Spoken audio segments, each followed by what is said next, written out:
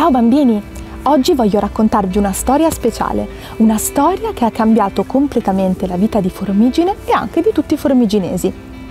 La nostra storia inizia un dicembre di tanti anni fa. Era un dicembre in cui era caduta molta neve e tutto era bianco, i tetti delle torri, il parco, la piazza.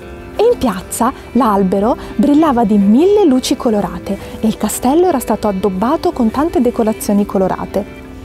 Alla corte topina, sotto al castello di Formigine, il 24 sera al tramonto fervevano i preparativi per il grande cenone della vigilia.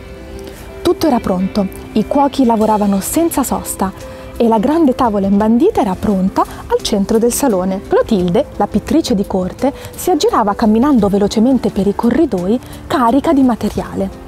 Portava un cavalletto, una grandissima tela e una scatola piena di pennelli, tubetti di colore e la sua immancabile tavolozza. Infatti voleva realizzare un dipinto in cui si vedesse il castello innevato al tramonto, la situazione che c'era in quel momento. Non era facile trovare l'inquadratura perfetta perché lei voleva che nel suo dipinto si vedessero entrambe le torri della corticella, ma anche il giardino e l'albero. Quindi uscì nel parco e iniziò a cercare il punto da cui poter vedere tutte queste cose. Incamminandosi verso il camminamento delle mura, Clotilde notò uno strano mucchietto di neve. Di neve ce n'era tanta nel giardino, ma quel mucchietto era veramente sospetto, anche perché era alto più di lei si avvicinò con cautela e molto silenziosamente, facendo molta attenzione a cercare di capire se quel mucchietto si muoveva. In fin dei conti poteva esserci nascosto sotto un folletto pronto a farle uno scherzo ghiacciato. Ma il mucchietto non si muoveva. Allora Clotilde appoggiò tutti i suoi strumenti da una parte, facendo attenzione a non bagnare la tela, e si avvicinò ancora di più. Il mucchietto era immobile scrostò con le zampine un pochino di neve e ancora il mucchietto non si mosse. Allora prese coraggio, non poteva esserci un folletto là sotto. Si avvicinò ancora di più, tolse tutta la neve con le sue zampine e scoprì una specie di palla, però bislunga, come quella con cui i bambini umani giocavano nel parco. Era bislunga e di strani colori, un po' dorato, un po' rosso, un po' cangiante. Allora decise di fare la prova definitiva. Accostò il suo grande orecchio a questa strana palla e batté piano piano con la zampina.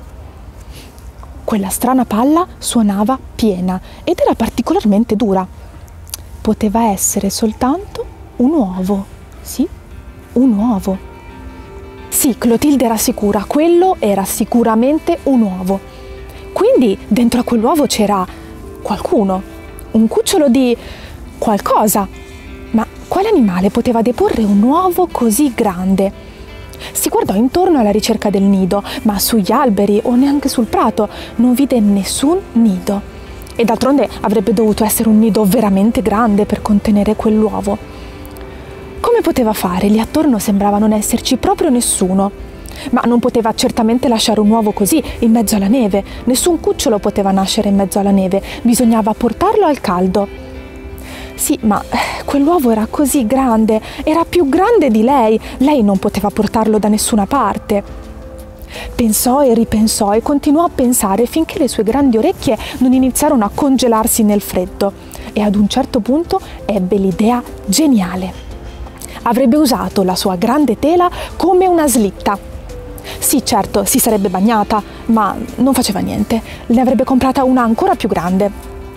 Quindi prese la sua tela, la mise per terra e piano piano provò spingendo a far rotolare l'uovo sulla tela. Una volta che l'uovo fu sistemato su questa slitta di fortuna, andrò, andò dietro alla tela e iniziò piano piano a spingere. Era fatta, la slitta si muoveva. Però adesso dove poteva portarlo quest'uovo? Nel castello o nelle torri? Chi si sarebbe preso cura di lui? Serviva un posto caldo, confortevole. Pensò e ripensò e le sue orecchie si congelarono completamente, finché anche qui non ebbe un lampo di genio.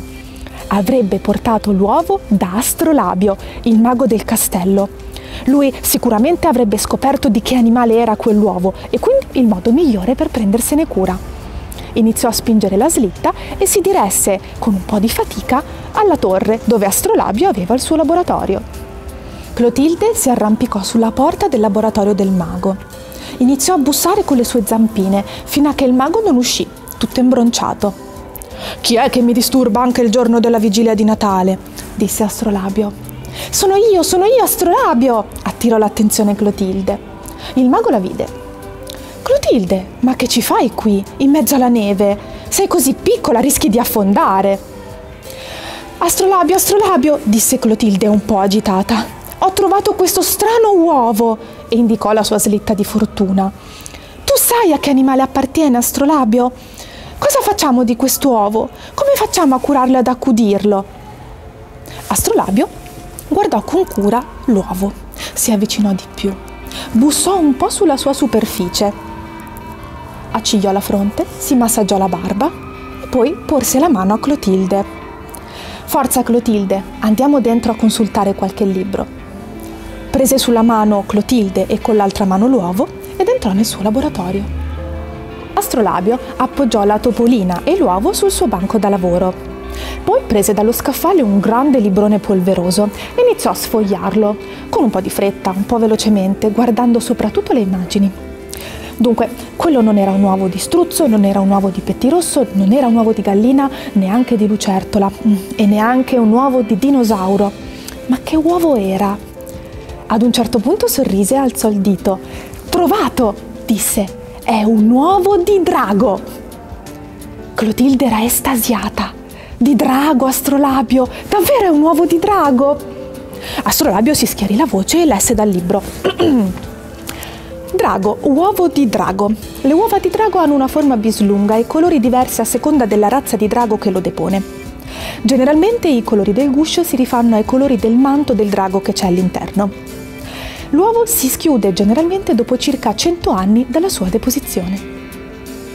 Ma se quello era davvero un uovo di drago, oltre ad essere una cosa bellissima, questo però portava anche un grande problema e Clotilde se ne accorse subito. Ma Astrolabio, ma se questo è un uovo di drago, come facciamo a prendercene cura? È troppo grande per entrare nella corte topina. Un drago poi è ancora più grande. Noi Astrolabio non possiamo occuparci di questo drago. Astrolabio ci pensò molto e decise di coinvolgere il re Topazio e la regina Topolinda nella decisione. Insieme stabilirono che l'uovo sarebbe stato messo in cima alla torre su un grande cuscino blu al calduccio. Le castellane si sarebbero occupate di lui fino alla schiusa e poi, una volta nato, il drago avrebbe potuto decidere se rimanere al castello di Formigine oppure no. L'uovo si schiuse il 31 dicembre dell'anno successivo Dall'uovo uscì un piccolo cucciolo di drago, verde, con le scaglie arancioni, rossicce e un po' cangianti. Il piccolo di drago decise di rimanere a Formigine e di stabilirsi lì. D'altronde il grande cuscino blu era comodo e calduccio. Inoltre tutti erano sempre molto gentili con lui e le dispense del castello erano piene di carote. Le castellane allora decisero di chiamarlo, sono sicura che lo sapete già,